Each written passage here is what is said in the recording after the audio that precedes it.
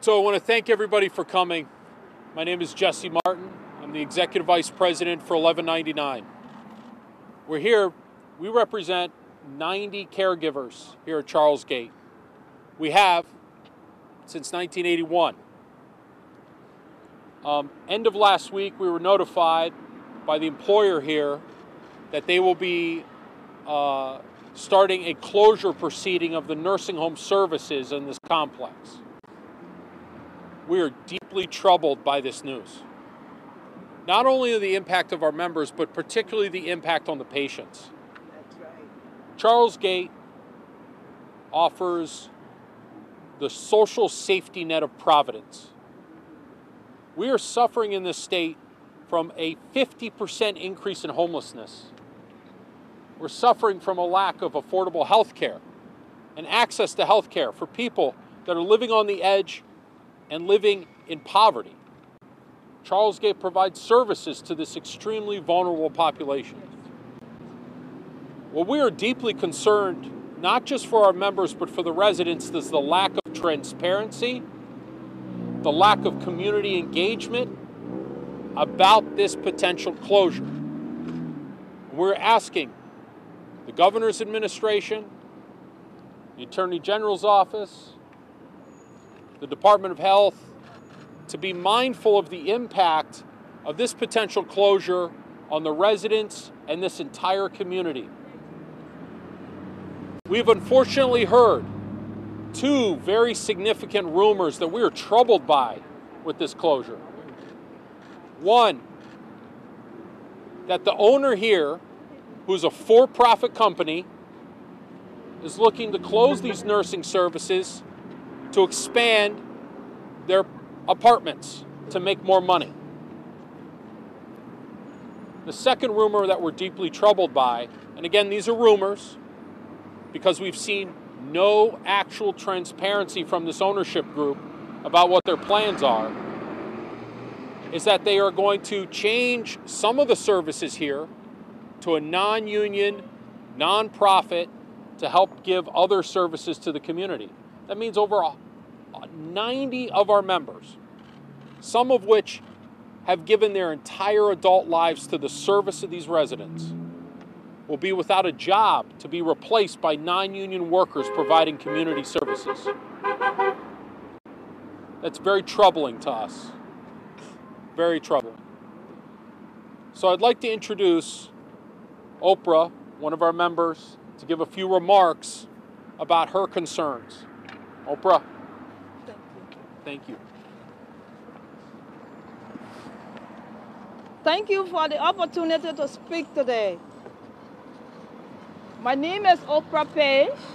I am a CNA and I have been at Charlesgate since 2008.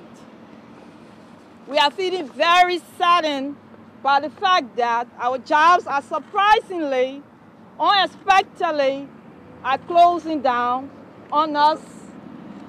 And the residents that we work for are also saddened because they don't know where they go. They will go. We are saddened. We are leaving with no benefits. All we received was a letter saying thank you for your services. And that is it. We are not getting any severance package or pension. And that's sad. We are greatly depressed. We don't know how our future, we don't know where we are heading next. I am a mom and a grandma, and I am worried about how to care for my family. We are going to lose our medical insurance. In this country, you cannot go to a hospital without a medical card or medical insurance or see a doctor without a medical card. How are we going to be covered? We found for four years through our union we fought for our excellent health care. coverage and another job will not like will not like will not be like Charlesgate. We are worried about our residents. They are scared and anxious. Some of them are recently homeless and do know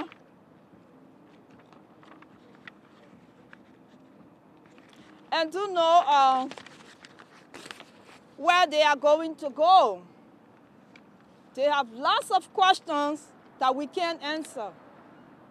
In the 15 years I have been here, there have been 10 to 15 management teams. Each one comes with a new mindset about how they want to run this place. But, but each one is looking to put extra money in their pockets, that expense of workers and residents. We all feel like we have been dumped, used for selfish gain. They have made all their money and they are now turning the billing into something else to make more money. We deserve better. So do our residents. We are used to fighting through our union for what we need at Charlesgate. Whether that is staffing, protective equipment, or supplies, now we are fighting for the future of our nursing home. We are no look, we are looking to the governor and our elected officers to help us in our fight so we can keep this valuable resource open to the public. Our elderly are also being dumped and caring outside for homeless. This is very shameful and embarrassing. Thank you. Thank you. Um, I'd like to also introduce Marianne, one of our members, say a few words. My name is Mary Ann Darbeh. Closer to the mic. My, name- my name is Mary Ann Darbeh. I am a medication aide and a CNA, and I have worked at Gate for 29 years. This situation we are faced with is very scary and disappointing. I am here to uh, speak to um, Governor McKee and our local lawmakers to help us fight our fight. Just last week, Charlesgate gave us a short notice, informing us that they were closing the door because they cannot no longer fund the nursing home. This came to us as a blow. We have been here for so many years. Many of us have given our services daily to this administration for them to just come last minute of time and say that they are, they are turning their backs on us, leaving us empty-handed. No siren pay, nothing of the kind. Um, they, they are, they um, AARP gave, AARP gave each nursing home 500,000. 500,000 they gave each nursing home, plus other money from the state. We have not received a penny, a penny of that money, and they are closing the door down on us. We have been trying to get some of that money that we receive from ARP and the government to boost our pay. They have been refusing, they have been dragging their feet, they haven't given us a cent, and they're closing down on us, and they still have this money. What happened to the money? We want to know. What happened with this money that the state have given us and ARP gave us? Are they going to close and take our money away, it was for us. 20% of that money was for Chaske, and 80% of the money was for the, the, the CNA, the staff. It was for us, and we never got a cent. So we want to know whether they're going to walk away with all giving us a cent.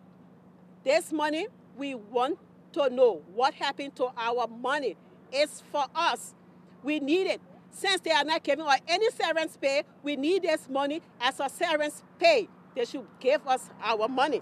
So it is very unfair and very disheartening.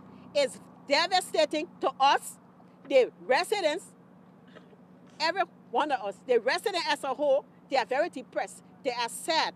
Most of them came to Chaske without any family. They are homeless. They depend on, they depend on us.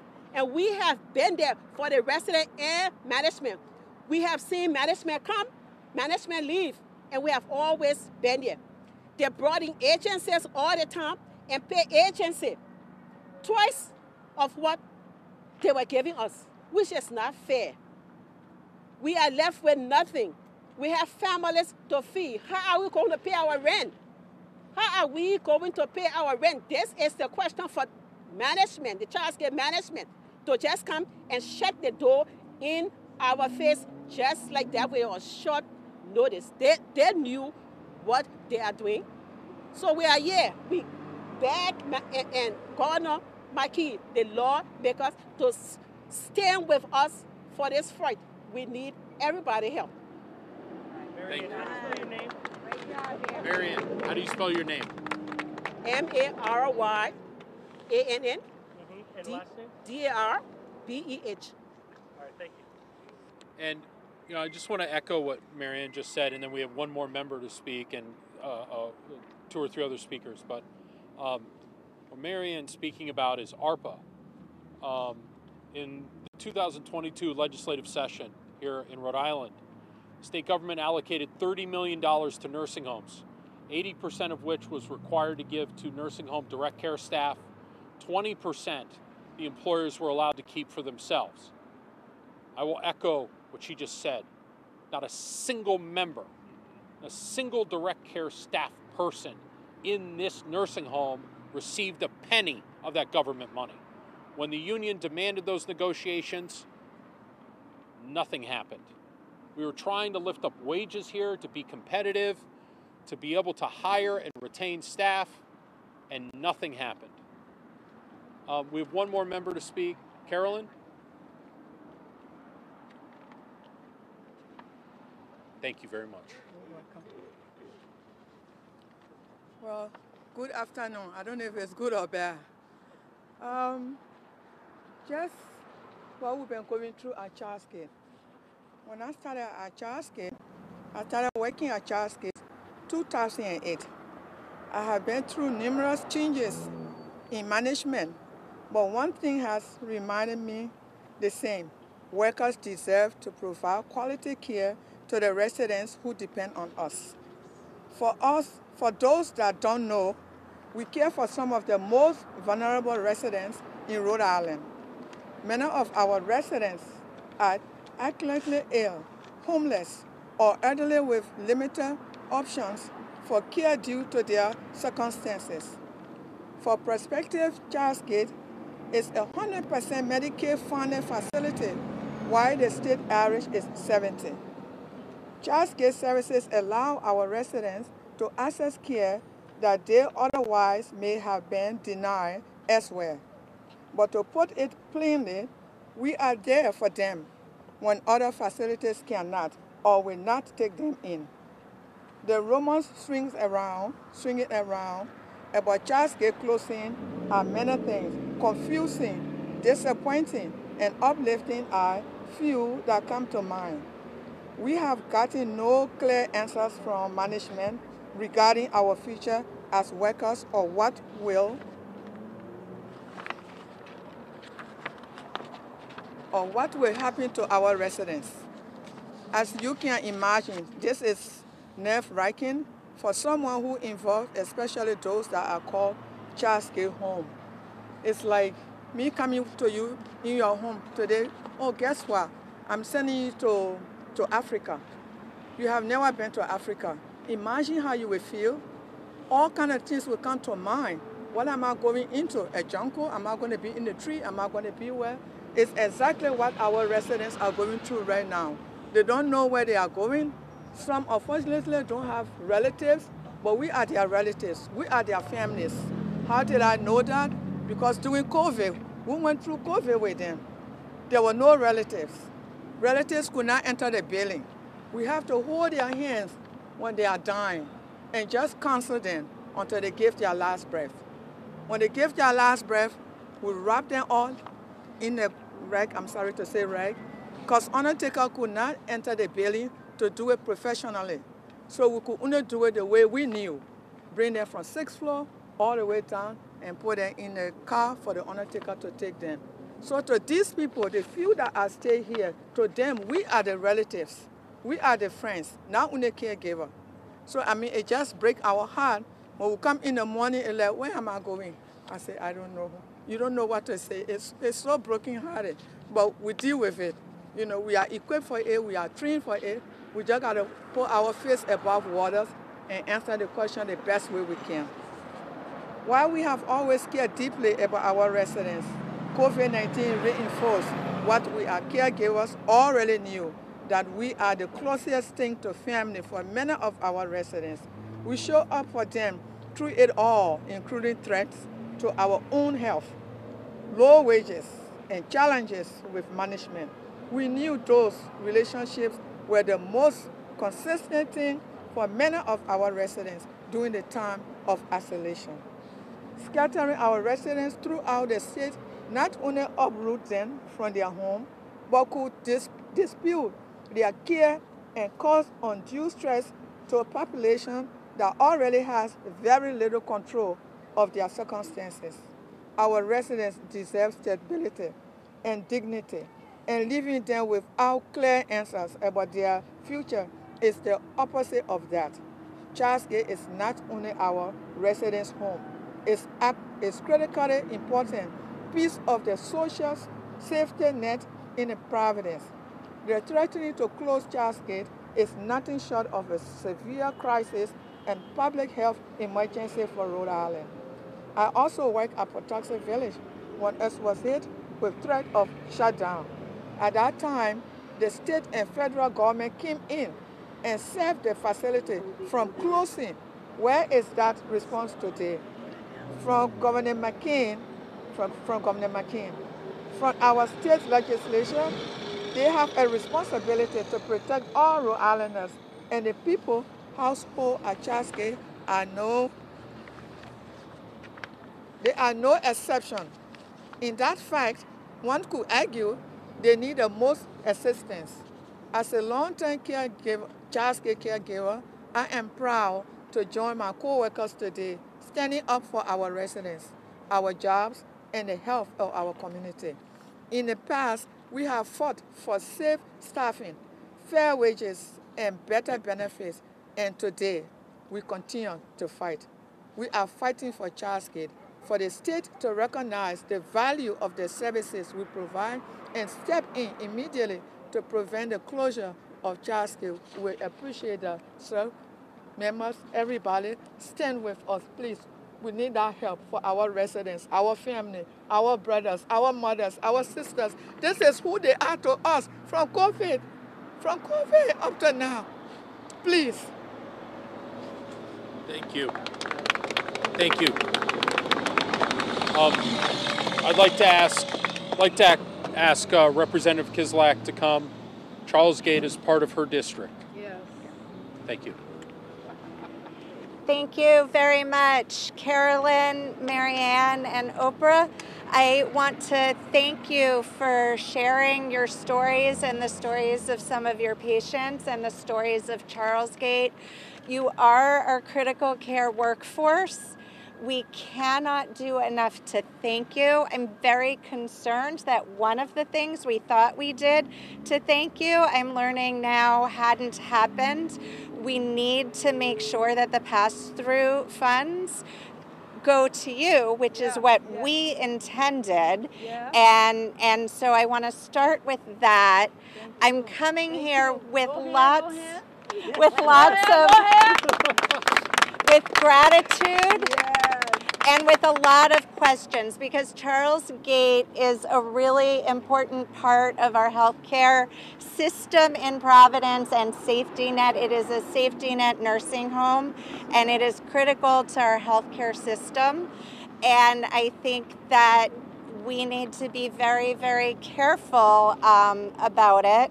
And also, I'm seeing so, I- this intersection is also one of the busiest and most dangerous in the city. So we're here gathered, and it's been really interesting to watch the traffic. Um, so a, a whole bunch of things come together here right now. Um, we need to make sure that our elders and our frail elders are cared for well and by very caring and qualified staff like you all here. Um, we need to figure out what to do. I am incredibly concerned about closing Charlesgate in particular because of the special role it serves as a safety net nursing home. I'm really concerned for the residents. And I'm concerned about what happens if it closes after it's closed for folks who need to be placed in a safety net nursing home. What happens when we lose that safety net?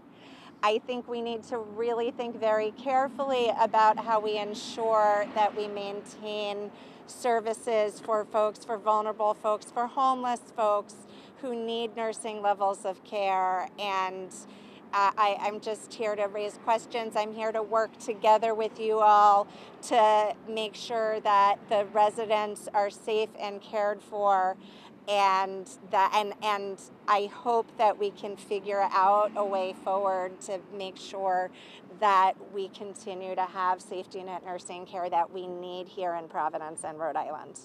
Thank you. Thank you. Um, so, uh, just also uh, uh, ask uh, Senator Mack to come up and say a few words. Thank you very much. Thank you. Yeah, so I'm also here to stand in solidarity with our workers and with the folks who make this their residence. Charlesgate can't just be a campaign stop for folks because we have a congregation of folks um, in our communities here. It can't just be a campaign stop. We have to make sure that every single decision, especially for our most vulnerable Rhode Islands, centers those vulnerable Rhode Island, Rhode Islanders, and the workers that care for them. It's a shame that still we have to fight for living wages for folks who make sure that people in our state who need the most care and the most attention don't have enough resources to make it to make it home to pay their bills, to pay for food, and to pay for life's basic necessities. We need to make sure that our safety infrastructure for every single directly impacted Rhode Islander and our most vulnerable population don't just leave our state because Massachusetts is 15 minutes away. We need to make sure that our workforce is able to stay here, live here, and become an integral part of our communities. Right now, the reality is that our direct care workers can't make Rhode Island their home and can't make the communities where their children, their grandparents, or their loved ones call this here home. And that is something that we should be ashamed of right here in our state. And we should be able to make steps towards making sure, though the ARPA funds didn't make it to our direct care workers in the past, we can as a state make sure that no matter who takes ownership of Charlesgate, that we are att- attending to the care of the residents here, again, some of the most vulnerable in our state, but also to the direct care workers who make sure that they're cared for. More work needs to be done to make sure that our safety nets are secure and that we don't have a crisis. We're right now experiencing folks who can't even figure out where their next meal is going to come, where their roof's going to come, um, where how they're going to pay for a roof over their head. We have Rhode Islanders who don't know if their job that they have, the career that they've put um, and invested their education years in, and their um, and their livelihoods, at the expense of their families are going to be able to live paycheck to paycheck or sometimes paycheck to paycheck that doesn't actually cover life's essential needs. This is a this shouldn't be a complex issue. There are other states that seem to make it work, and there are other systems that seem to make it work. I hope that we can work in partnership with not just the direct care workers, but with the state and other folks who are um, who care about the residents here and the future residents here and the care of all Rhode Islanders. So thank you again to our direct care workers. Your work um, is immensely um, important to our communities. You are important to our communities, and it's about time that our state shows you that your work not only makes all of our communities better, um, but it makes our communities safer. So thank you all for the work that you do on behalf of Rhode Islanders, the most vulnerable population. Thank you. Thank you very much, Senator. Um, I just want to echo we are asking the state of Rhode Island to go to the same extraordinary measures that they have gone to in the past to save the social safety net of Providence. Years ago, the state put Bannister House in receivership and found an owner that can operate that facility with the dignity and respect the residents and the staff deserve. We're asking the state to do the same thing here for our Charlesgate community and for the staff that care for them. I want to thank uh, the Treasurer's Office for being here. I want to thank Representative Kislak and Senator Mack for the words that they spoke and their support. Representative Morales and Representative Sanchez, the AFL-CIO, and the Working Families Party. Uh, together as a group, we can bring dignity to those who deserve it and for the people that bring dignity to people every single day. Thank you very much. So SEIU planning to go down any judicial route or perform any strike action regarding the uh, regarding Charles the closure? Um, one, we are currently uh, in, uh, uh, uh, we will make an assessment about what we can do to properly represent our members and protect the livelihood of these residents. This is the first step in what we are going to consider our campaign to save Charlesgate. Simple as that. The owner said that on Friday they got calls from a lot of other nursing homes looking to take residents and hire staff. Um, have other have people here, having people here found job, other jobs or found other placements? Well, I, I'm sure some people have. I know that uh, our membership, which makes up uh, nearly 90% of the staff here at this facility, um, they don't want to start over.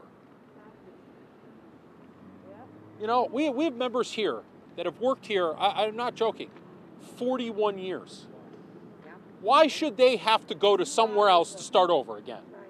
They've sacrificed not only their health during this pandemic, but they've sacrificed a part of who they are with their families and their own communities to be here for these residents in the tough times. They shouldn't have to start over. Now, is there a staffing need in many nursing homes? Absolutely.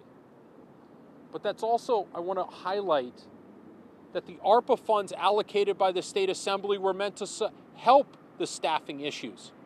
And as you heard directly from these members, they received none of it. So if there was a goodwill to try to keep this facility operative and to keep these services, you would expect the ownership, a for profit ownership, to be able to come to the table with dignity and negotiate those wage increases, those incentives to the frontline staff so they didn't have to be in this position. What are the CNA wages on average here? On average, here, many of our members make anywhere between 17 and $20 an hour. You know, I will say, you know, part of the nursing home industry across this state, which is really disturbing to me as a human being, is that dietary housekeeping and laundry staff typically made just above minimum wage. And some of them have been here 20 or 30 years. That means they're making $13 or $13.50. And that's wrong. You know, during this pandemic, housekeeping staff were vital for infection control procedures. They protected people's lives and making sure facilities like Charlesgate were clean. To ask them to live in poverty is wrong. And there have been measures that the state has taken over the last two years to help lift up those wages. But for profit companies like Charlesgate seem to always find the loopholes to keep money for themselves and keep money away from caregivers and residents.